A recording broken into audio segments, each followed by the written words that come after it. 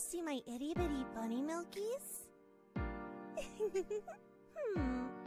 Okay. Just this once.